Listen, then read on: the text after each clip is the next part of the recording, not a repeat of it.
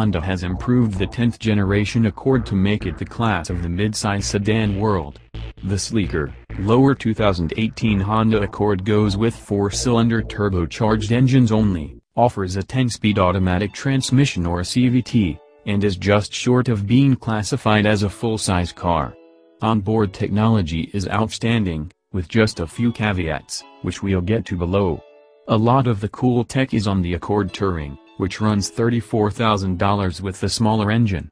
Overall, this new 2018 Accord and the month-older Toyota Camry will lead the midsize sedan category in the eyes of most buyers. More fun to drive, all turbo, all the time.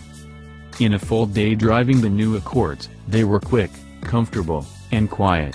The Accord 1.5T with a 192 horsepower 1.5-liter engine and a continuously variable transmission is plenty quick, and the 252 horsepower 2.0-liter with a Honda-designed 10-speed automatic is quicker still and with virtually no turbo lag.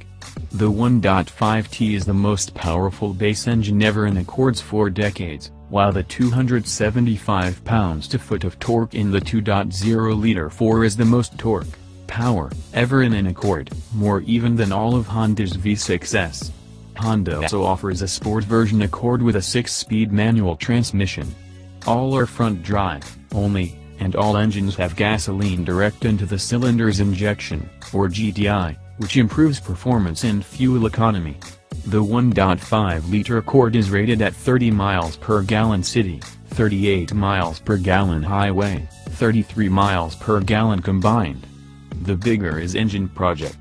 If you want 50 miles per gallon, wait till early 2018 for the Accord Hybrid. The four cylinders only format allows an automaker to downsize the engine compartment, if desired. Hyundai has been doing this with the Sonata since 2011. It's one more way to reduce weight. Honda redesigned the suspension for better handling, improved passenger comfort, and more rear seat space. The top-of-the-line Accord Touring gets an adaptive suspension that can be set for sporty or normal handling. It belongs on the Sport model, too. Sport slash normal slash econ console switches, see graphic, lets the driver adjust shock absorbers, steering, Honda's Agile Handling Assist, a form of torque vectoring, driving force, shift points, active noise cancellation, and air conditioning.